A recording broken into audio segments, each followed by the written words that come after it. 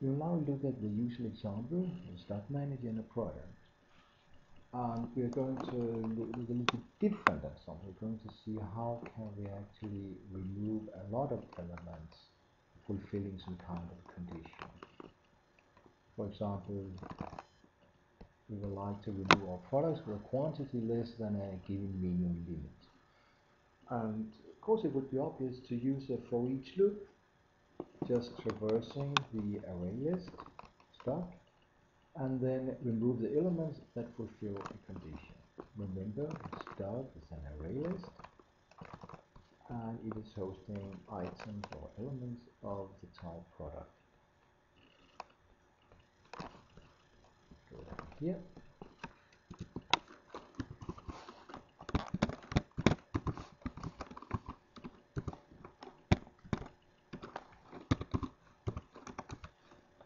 Each product P inside the array stock, I want to test something. I want to test if the quantity on this P is less than a given minimum and if so then I want to remove P. So let's find out if there is a method inside uh, P product inside product we can see there's a quantity. This is the quantity I want to find. And we can see there's a method called get quantity.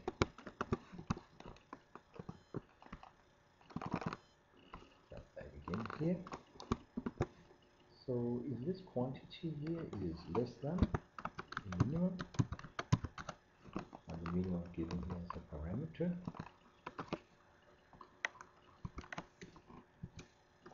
then I will simply say I want to remove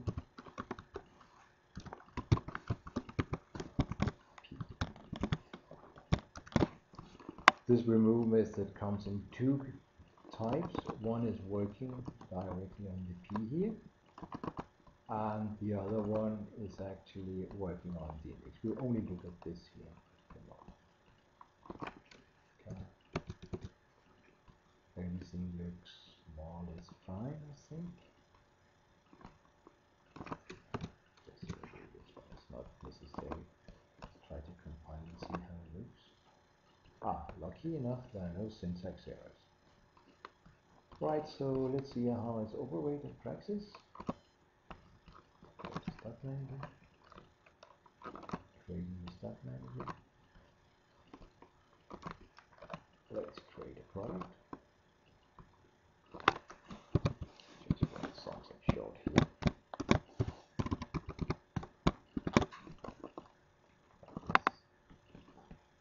Now, when I create this product, I now want to add this product.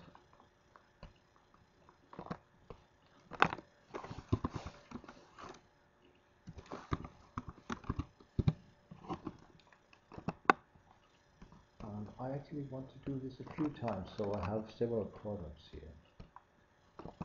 It doesn't matter that it's the same.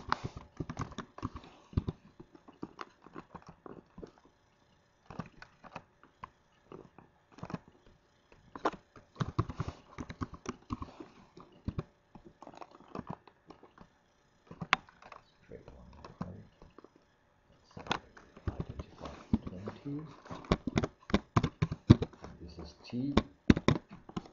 Okay. And add this product.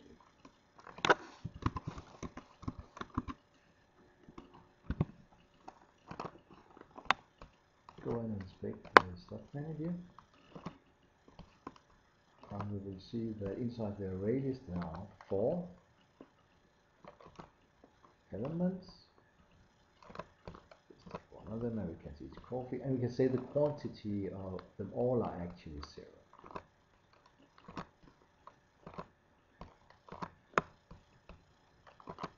Now I want to remove all products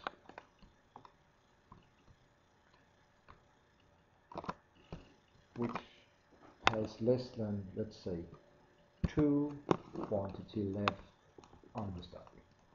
So I call this method.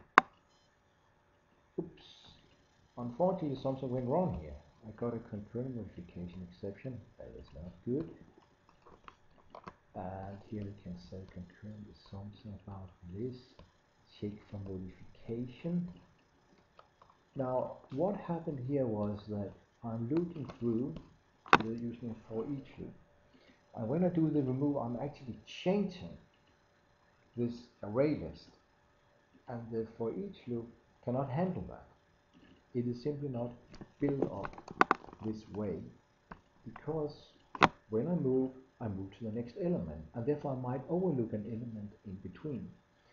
We can, for example, so therefore this is simply not possible to do in Java this way. So we can immediately rename this method.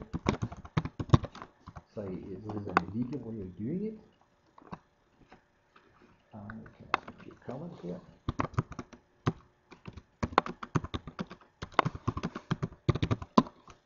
Good example of that one thing we can do it in a simple way, but unfortunately it was the wrong way.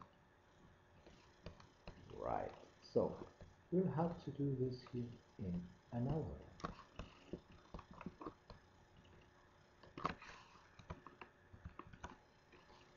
We're going to use something called an iterator. An iterator is a pointer, and this pointer is actually starts before the elements and will always be between the elements in the array list. This is also a void here. And again, we call it remove products. The first thing I do is I define this uh, pointer or iterator. IT is a classic name for this. Now inside array list there is a method called iterator. And it is actually returning uh, object reference to an iterator and is binding this iterator to look on the stock here.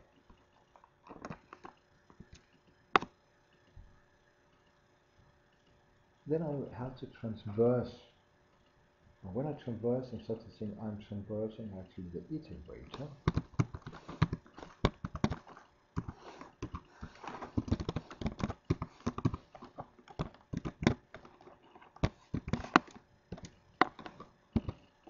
this loop here, while IT has next. Of course, uh, that is not something that comes out of nowhere. It's because I cheated a little bit and I looked a little bit at the iterator. While IT has next means as long as there are an element left in this array list, then we will move on. So this actually returns a true as long as there are elements, or false if there are no elements left to be checked. And we can uh, use, um, we need to get something out here.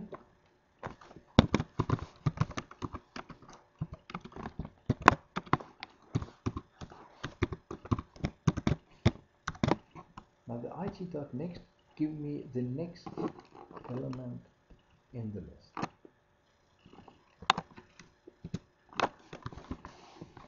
Now, if this element fulfills a criteria,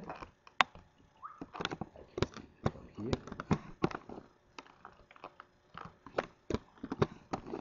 then I will have to remove the element.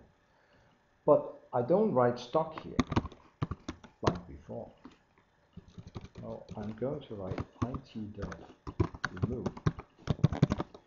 We don't know what it is going to remove unless we know what's inside the remove method. You can see up here we actually had a p, but that is not necessary down here. Here we had this, remove p, and here we just write remove. So which element is it going to be that it will remove? Well, the element is going to remove is built in like it will remove the last one found by IT next. let's see the parentheses here here okay so this is the way one we program such a method here it is also the strongly recommended way of removing elements.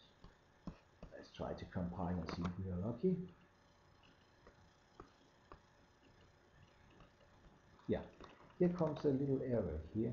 It says it expected object that is requiring P. That's because we didn't define this IT the iterator. So work on the type product. It's very easy to forget this product here. Let's try to compile again. Ah, now it's working. So let's try again to do the example and see what happens this time.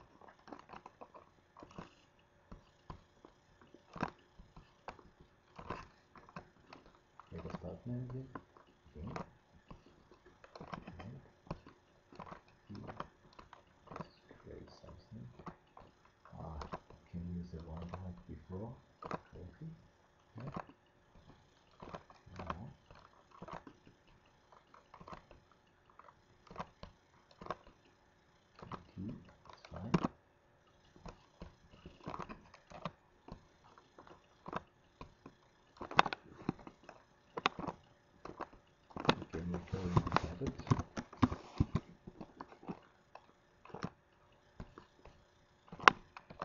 add a few of these here, just for the test.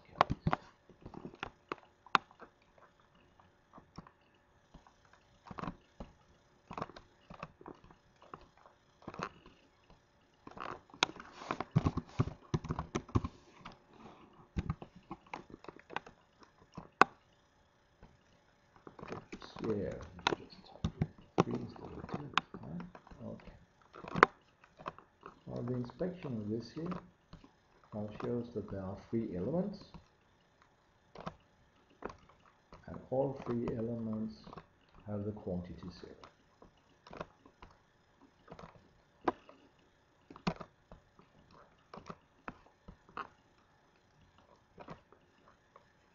Now let's try to see what happens if we try to remove something, remove products. And write 1 that means everybody less than 1 that means all of them plus all 0 should actually now be removed so I expect if I open this and inspect the again here I will see there are left and we can see see this is correct. So our method is actually working. Of course you have to perform more tests like this various uh, like somebody has maybe five or six uh, on the stock quantity on stock and so on.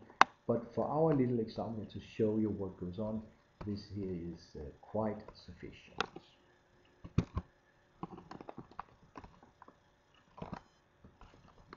So I think that finished the day.